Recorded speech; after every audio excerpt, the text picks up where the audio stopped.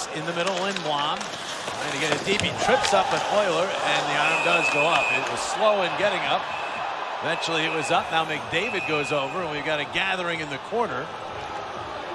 Yeah, Laughton put the puck in the net after. The Oilers took exception, but McDavid, recognizing he has a power play coming, just had a quiet conversation with Laughton Did not do enough to take a penalty. Smart play from the Oilers captain. Lindblom's going to go to the box again. He was in the box when the Oilers scored their goal. Yeah, kind of accidental trip there, but right in front of the ref, and there's Laughton putting the puck in the net after. There's the trip. Provorov early on, just prior to the face-off, puts that puck right up into the cheek of Zach Hyman. That's why he left, but he's back on the ice here for the power play. Flyers have to find a way to defend this man advantage unit. Already one for two.